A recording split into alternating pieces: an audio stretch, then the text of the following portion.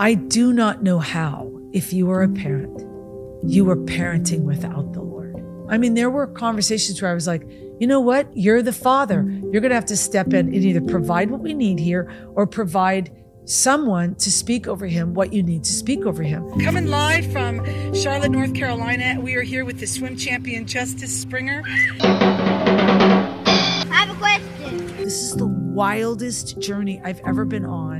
And I'm realizing, oh my gosh, this is partnership. Like this adoption is, is a partnership with the Lord. Hey, everybody, this is Rita Springer. Welcome to the Rita Springer podcast, and worship is my weapon. I am in a continuation of part two of my adoption story.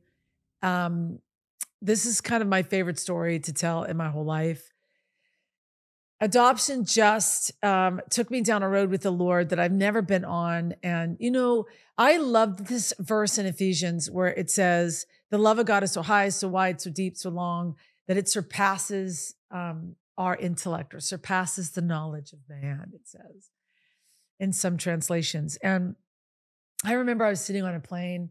I was reading that verse one day, you know, the love of God, just thinking about how precious the love of God is. And, um, you know, that it, it has a height to it, it has a width to it, it has a depth to it. And, you know, when you're, when you're uh, madly in love with the Lord, and I know we go through seasons like that where we feel it a little bit stronger, but, you know, I really remember a, beautiful season in my life when I started to just get to know the presence of God and fall in love with the presence of God that I would go to bed at night and I would just be like, talk to the Lord. I would talk to the Lord until I slept, until I fell asleep. And man, I look back on that and I'm like, oh, he must have just thought it was the best because, you know, sometimes we don't always do that anymore. We, we're so distracted by so many things. But those were just those beautiful moments of that introduction to the depths of God. It's like you didn't know you could find God like that. And you didn't know. And then God shows up like this. And oh my gosh, he answers a prayer like this.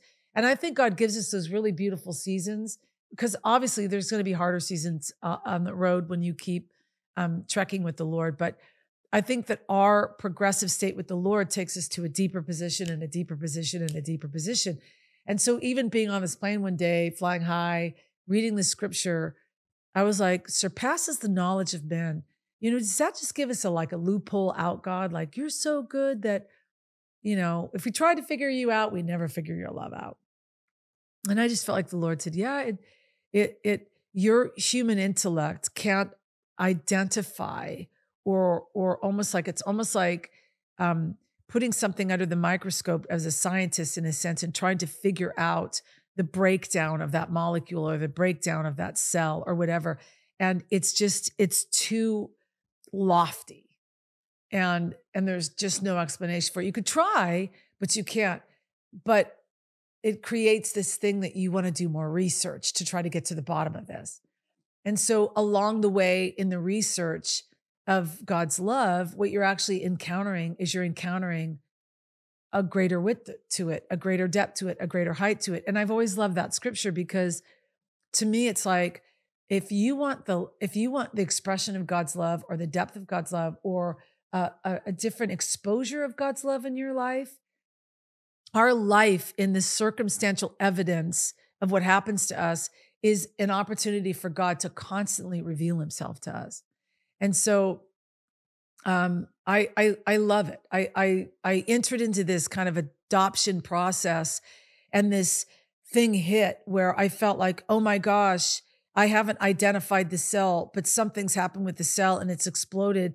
And I'm like, this is kind of fascinating to me this is a different side of, of God's nature. And I was hearing God say things that I would have never heard the Lord say if I hadn't been on this journey with the Lord, if I hadn't said, okay, all right, I'll do this.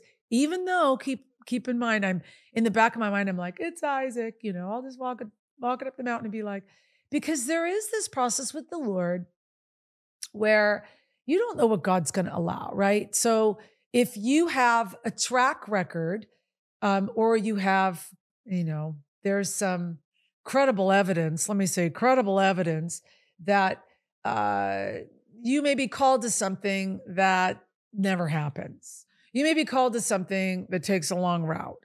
You may be called to something that doesn't look like it was supposed to look or what you thought it was supposed to look like. And when you've got the credibility of that stuff happening in the past, sometimes when God asks you to do things, you're like, uh, uh, uh, uh, okay, God, but oh, is this going to turn out like that? Is this going to be like this? Are you going to do that? Are you going to?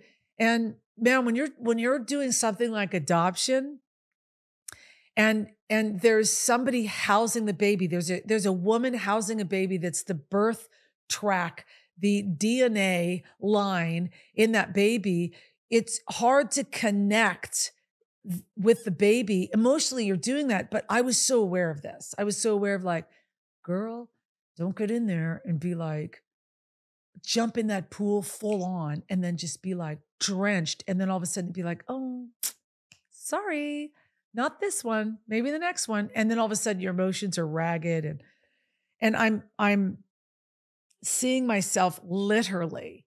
I'm having flashbacks of being in a fetal position, a fetal position. I'm not, that's not um, drama when when I handed that baby back on the plane um, to its biological grandmother after that six weeks, seven weeks that I had that baby, I was in a fetal position. I couldn't eat, I couldn't sleep. I was just, and so the I, I'm thinking, okay, he wants me to, okay, this is Isaac. I'm going to take it up the mountain. He wants me to go through these. I'm learning all these things. Every time you are investing in it, every time you get you get the home study she comes and she assesses your house and you're cleared off and the checkpoint and checkpoint and you're getting closer and you're getting closer and you're getting closer and then the agency that I was attached to, just the sweetest lady, really amazing woman of God, and walked me through everything. She finds out that I'm single. And so we're having this conversation one day, and she's like, Rita, you're single. Like, there's a policy in in you know this company that I, I just I can't adopt to single people. And then she tells a story of how she finds out I'm single. She knew I was, she knew who I was because of my artistry, because of the, the music. And I think she just automatically assumed I was married. And so she finds out I'm single. And she's like, she has this encounter with the Lord, where the Lord's like, I'm doing this. You have to make a way for her. And she, she calls me up and she's like, if I had not had an encounter with the Lord, like I, I couldn't do this for you.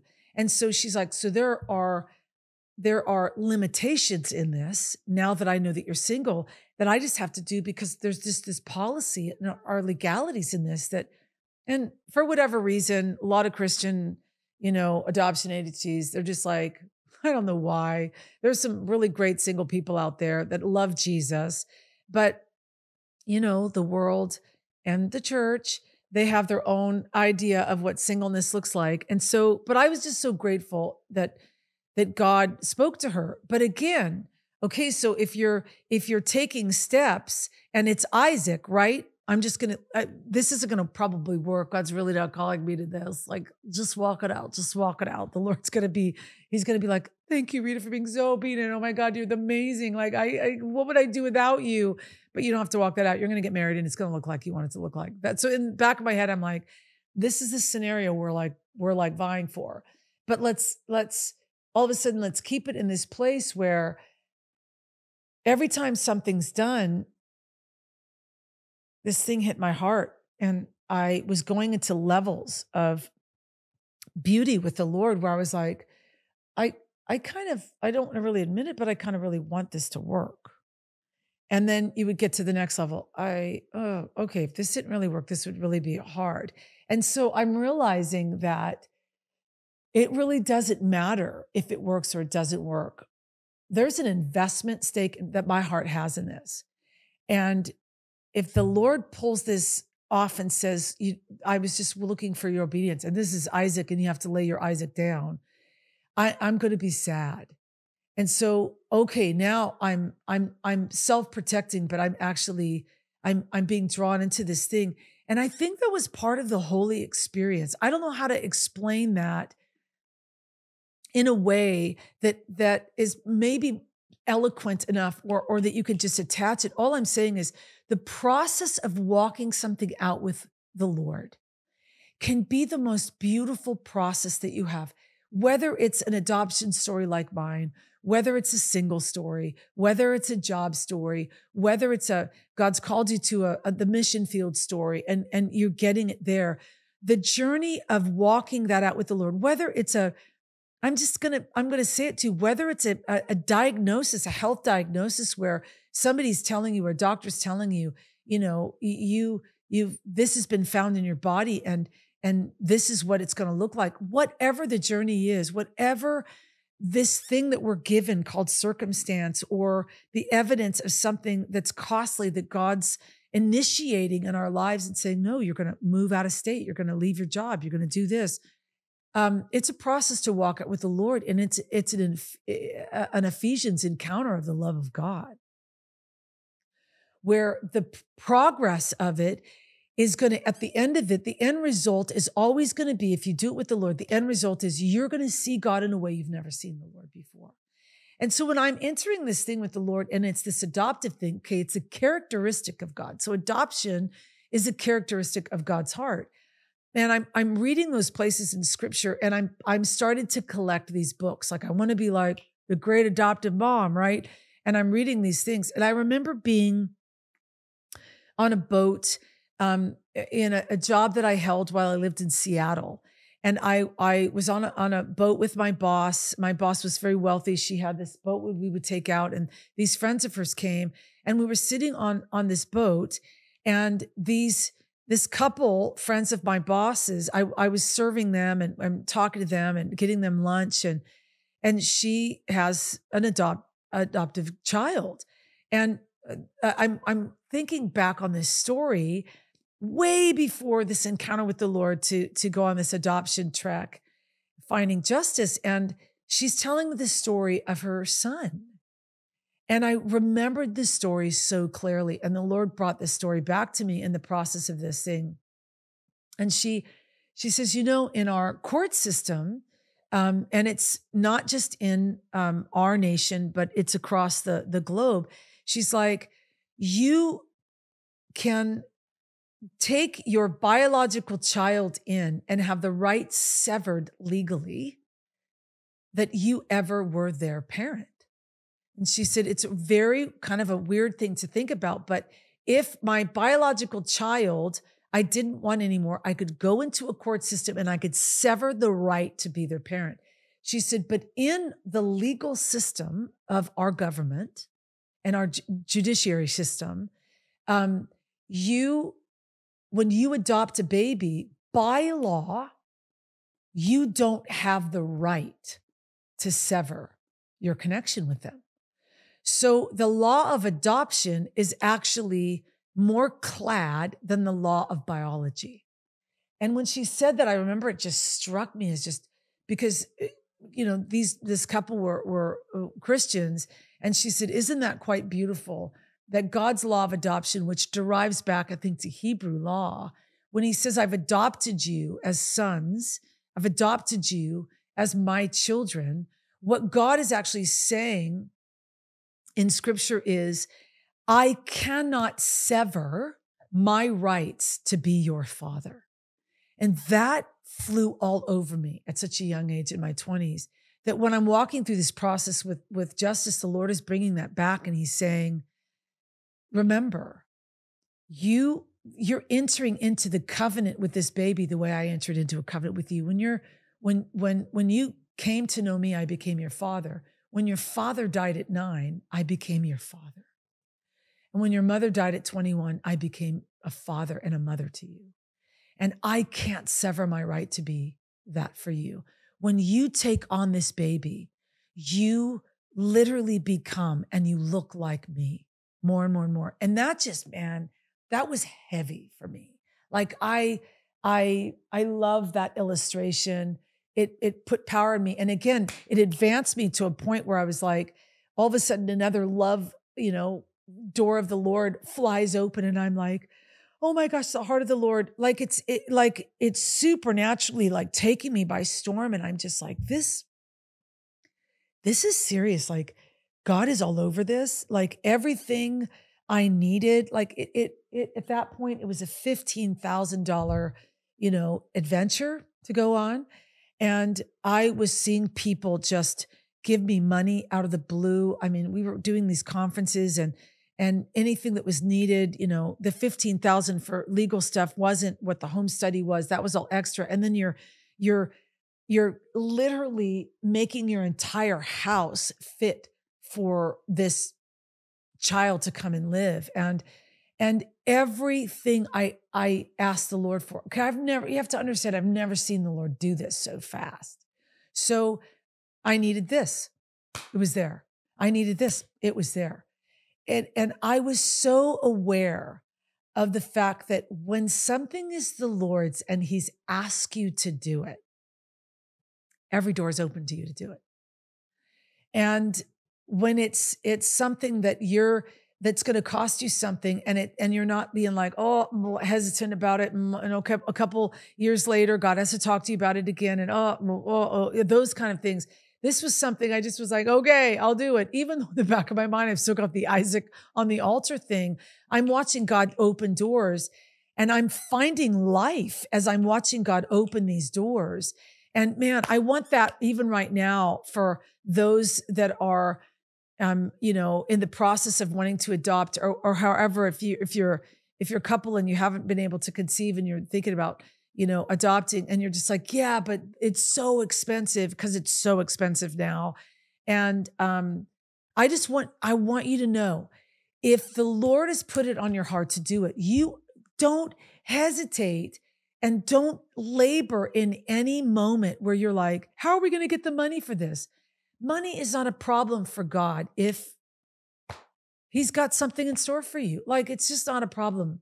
You know, if if money like money's always been a problem for me because I have a problem with the spirit of poverty and I'm so afraid that there's never going to be enough because of trauma from growing up in such severe poverty.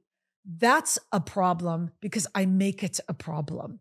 But when God's asking something of us and we're saying yes to God, why would the Lord be like, oh, good, you said yes. Now the obstacles are going to be so horrifying.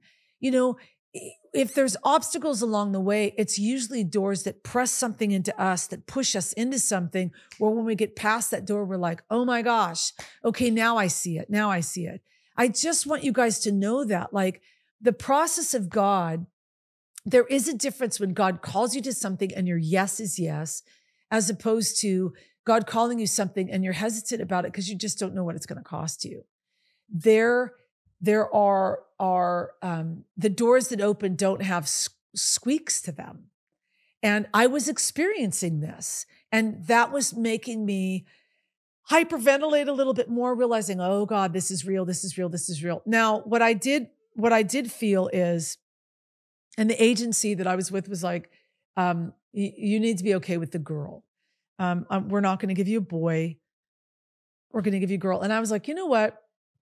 I think they called it fallout, the, a fallout parent or fallout baby, where I was like, I don't want to walk a woman through her pregnancy. I don't want that journey. I don't feel called to that journey. I actually want an orphan. Like I want somebody that just needs a mom. That that it's a, a quick thing that maybe somebody comes in and um, they walked into an emergency room having a baby or whatever. And she's like, well, what we call that is those are kind of like, I think she called them fallout babies, where if there's a couple waiting for um, a baby and the baby's born and the birth mother they've been walking um, through that um, process wants to or decides to keep the baby, um, then they get the like the baby that's just left. They get the next baby that's the quick baby. She said, "I just would put you on the list for that." I said, put me on the list for that. That keeps me incognito as the, the single person that you, you know, don't really want to spread the news that I'm, you know, doing this as a single person. And she's like, that's great. That's what I'd put you under. And she goes, and it would have to be a girl. And so I'm like, oh, thank God. Like, there's no way I could raise a boy. And so I'm like, yeah, girl, that's perfect. That's perfect. And I'm like, it would really be great if the baby didn't have my skin tone.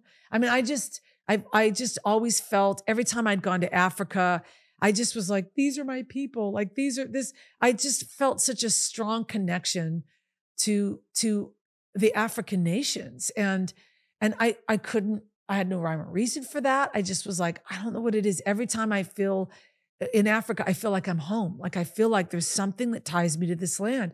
Well, I didn't know what my story would end up being. And so when all of that stuff starts clicking later on and you're like, oh God. So I said, to her, um, I want a black baby because I feel like I I I I feel like that's what I'm called to raise. And she's like, but I said I'll take anything, Hispanic, Asian, uh, you know, white, whatever. You know, I'm just like, I just let's just pray that it's not white. No offense to white babies, but I just, um, you know, I there was just something about I just I my eh, my whole being every time I I saw um, an ethnic child, I just felt everything just rush toward that child.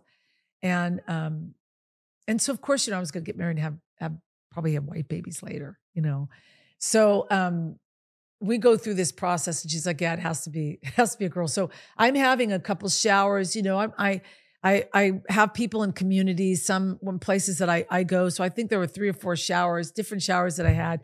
And I mean, closets lined with pink and purple. And in the back of my mind, I just kept the nursery neutral. Um, you know, I, I had this really cute vintage cowgirl cowboy nursery. It was absolutely so adorable. And I set everything up. So I did everything in investment for it. And I remember I told um, the agency, hey, I just want to let you in on something about me. Okay. And so this is part of my sarcasm coming out, but this is also part of that, like, um, let me give myself a soft cushion to land on so that I've at least said it and it's out there. And then I know, well, you know, you prepared yourself for saying that and you even told her that. And that was, I just said, look, I don't know what it is about me, but God has waited to give me anything, anything that I've ever truly ever asked for in a husband, in a career, in this and this. God's just never done for me. And I don't have any rhyme or reason for that. I just, um, that's just my life. So, uh, you know, we're in this process now. God's asked me to walk through this process, but I just don't think it's going to be easy because I'm included in this. And um, if I'm here, it means it's probably going to be a lot, long process. So I'm just telling you that um, a baby probably will not come fast. And uh, don't be looking at like placing a baby with me for a long time. And if you're scratching your head, you can't figure out, I just don't know what's, it's because of this. It's because of the Lord, because he just makes me wait for everything. And I felt like I needed to say that because I needed to actually cushion um, the fact that what if God chose to do that again? And I needed to just have a soft place to land when it became painful. And she's like, okay. You know, she was just like, all right. And I fill out all the paperwork, everything's in.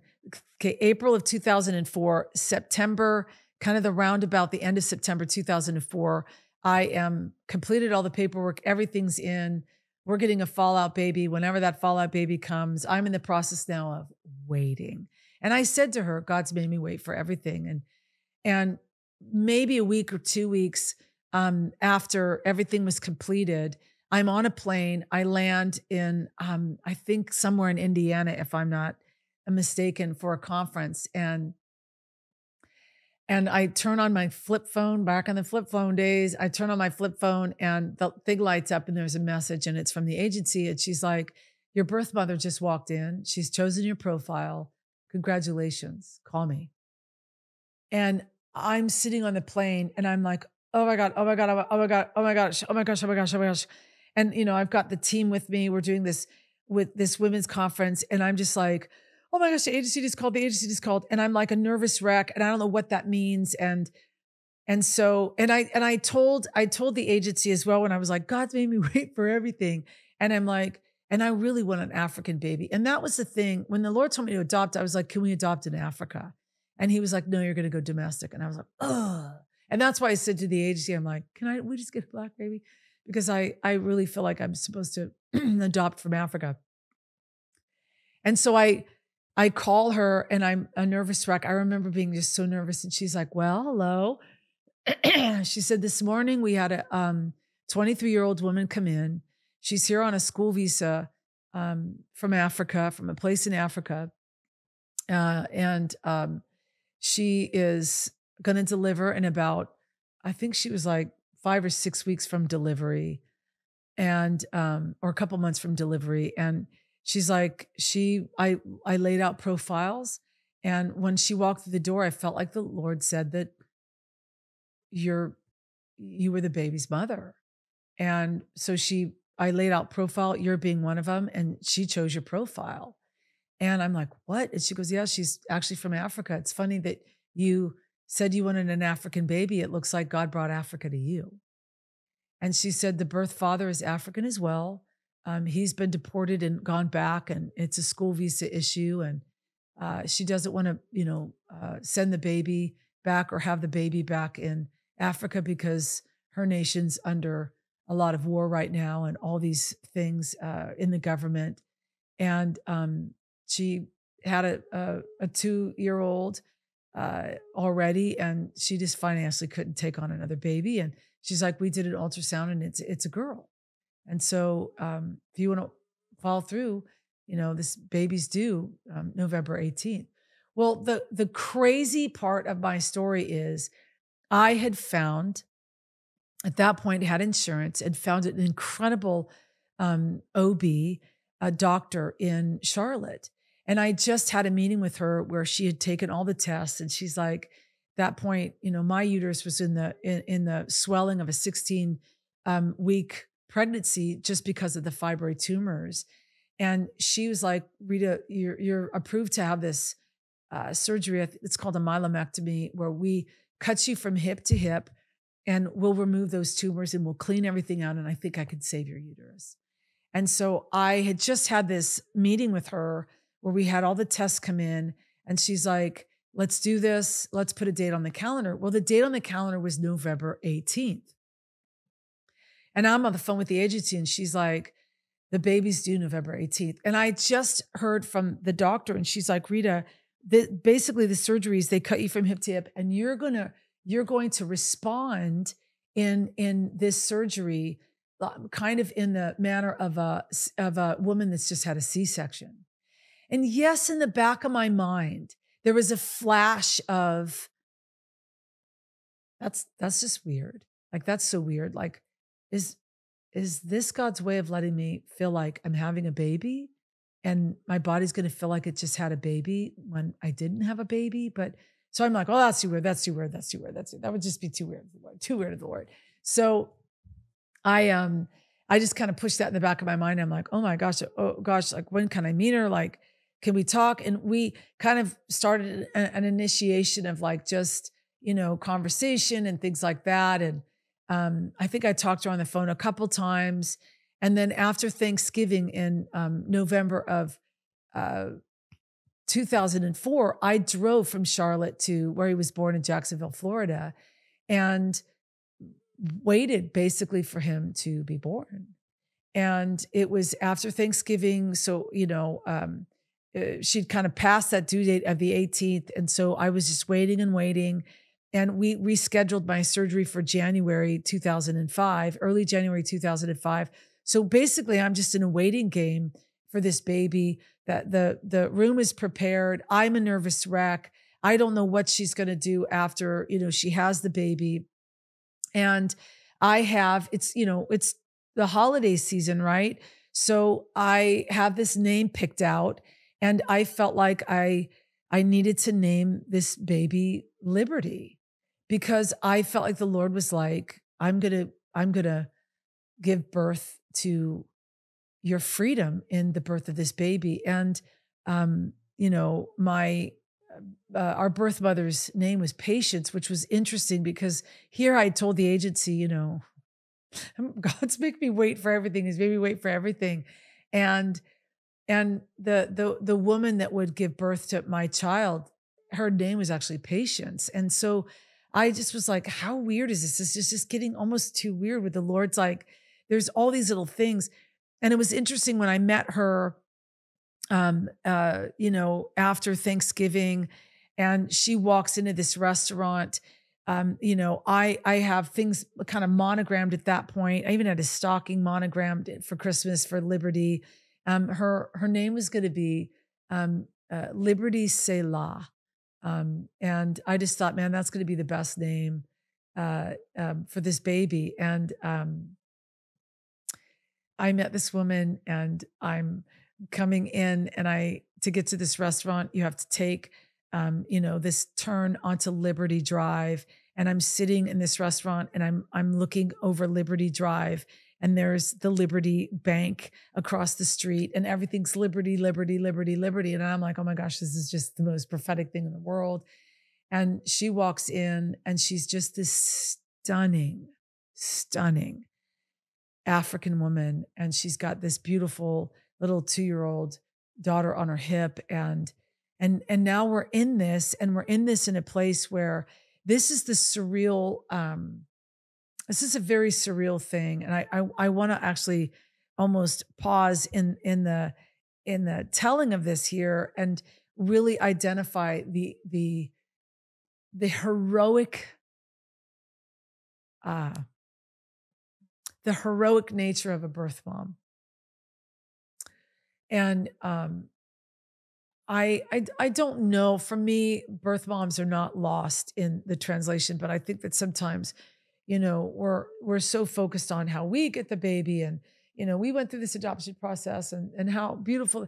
And I just I was so incredibly aware of um, the strength and the uh, oof, what it would what it would take for a woman um, to carry a child for that long and know that they were making a decision where they would never be able to raise or see that baby um, sometimes for the rest of their lives. And that just wasn't lost on me. There was something about that that and I, I felt like the lord was like you know she's the she's the heroine of your story. She's always going to be the heroine of your story. And i um, was just really kind of blown away by that. And so I was so tender with her because I obviously it's like the the the baby that you're supposed to raise is in her belly and I don't know if she's actually if that's going to actually be Isaac where I don't really get the baby. And so there's this kind of awkward dance that you're kind of doing with this beautiful human being that has made this decision that's this absolutely soul crushing decision probably the most soul crushing thing that they'll ever make in their entire life. And you, my, I felt like the command of the Lord was that that had to be on the forefront of my mind at all times, that her heart and her emotions had to be on the forefront of my mind. And, and so you know it's it's awkward talk. It's you don't really know what to say. You're trying to think of all these things. And um and she's so kind and she's so precious. And we you know we ended that conversation and i just i took her to the doctor uh, i, think the next day or maybe that afternoon I, I can't remember. And i'm in the city and we're just basically i'm just like in a hotel room by myself no family around me by myself which was actually really kind of hard. But it was it was holy because the lord was there. And i'm I'm a mess, you know, and so I'm distracting myself by going down and shopping, you know, finding these little beautiful little stores and shopping for things and bringing all these little beautiful girl things back to the, the to the hotel. And when you adopt in the state of Florida, um, the birth mother has 24 hours uh, to decide. So the rights are cut within 24 hours in different states. Sometimes it's um, a few days, sometimes it's 60 days, sometimes it's 30 days but um, uh, the law in in uh, the state of Florida, which is where my adoption was legalized, um, it, you have 24 hours. So it, there's not a, a, waiting period. You basically have 24 very hard hours before you know whether or not it's it's a go. And so I am just trying to keep my head on straight. You're just an abs- I'm ab- absolute nervous wreck trying to do this thing with the Lord. Now I'm invested, I'm fully in, I'm experiencing this beautiful um, process with God and, and progressing into these beautiful corners of, of God's precious heart and me merging in line with with his heart. And i i was reading all these books and in all these books that i was reading and prep to adopt and become an adoptive parent every book had this psychology attached to it about the broken identity, the broken identity, be careful about the broken identity. And and and I I was just tripped up by that. And I was like, Lord, why would you call adoption this beautiful thing when when in all these stories that I'm reading, there's these broken identity and you know the kid became teenager and blah blah blah. And And a lot of those cases, I think, were adoptions that happened later on, not so much adoptions from birth. I think there's a difference when you get a baby from birth and the baby's with you and is is bonding with you from birth. But I'm still quite grieved about about the process of of identity and and and the strain on the identity. I understand it. I understand the psychosis of it. I understand the the psychology of all of how that happens. And yes those things are there. I the identity process of it. But i kept turning back toward the lord and i kept saying i'm not wanting to just be in this to raise a child who then has a broken identity. I'm like how do i do this and do this well to where my child isn't suffering from a broken identity? And and holy spirit said to me he just oh, was so precious. He just leaned and he's like aha Great question. I'll parent with you. If you partner with me in parenting this baby, then I am the one that will help seal and help navigate in the hard times where you will find it easier to bring back to the center, back to the center of where the identity actually is. And I am telling you, A, I do not know how, if you are a parent, you are parenting without the Lord. I don't, I would never do it. I would never venture out to do it. I would never encourage somebody to, to parent without Christ. But I'm not talking about, you know, just praying, and praying over our kids and having a, you know, I'm talking about parenting with the Lord. Like, well, you're his father. So I, I you're going to have to step in. I mean, there were conversations where I was like, you know what? You're the father. You're going to have to step in and either provide what we need here or provide someone to speak over him what you need to speak over him. And so I didn't really know you could have that access with the Lord. Like I'm, again, Ephesians, I'm reaching for in need, reaching for a portion of God's connection, the love of God that I need for this. And when I'm reaching out for it, I'm this door's flinging open and the the depths of god and the height and the breadth and the width of god i'm gaining i'm progressing in this thing and i'm like this is the wildest journey i've ever been on. But god is showing up in the midst of it and then he's breathing like this revelation in the midst of it that's kind of blowing my mind. And i'm realizing oh my gosh this is partnership. Like this adoption is is a partnership with the lord. And it's it's surreal and it's crazy. And i am now fully invested and if this doesn't go right i can feel the fetal position. Like i'm like oh god please please please please please. And i and i and i feel like that just that precious that wasn't anything god um knew from the beginning, or God was like, this is how you're going to be, this is how you're going to respond. I responded that way to protect my own heart. And all God did was provide every open door to prove himself right in the whole process of it. But I was the one that was like, oh, no, no, no, no, no. Like, you've, I've been hurt by this before. I got to protect myself here. I got to protect myself here. I got to call it an Isaac. I got to do this. I got to, I got to call you what sometimes you look like and I got to protect myself and I got to, you know, put, you know, some knee pads on, some elbow pads on. Cause if I fall out of this and I fall, then, then, then I'm going to need something to just kind of, cause I don't want to not serve you, but I, I, I, I, I know how you are sometimes, God. God isn't like that. God knows what he is when he comes to the table. He knows exactly what he, what he'll be when he comes to the table.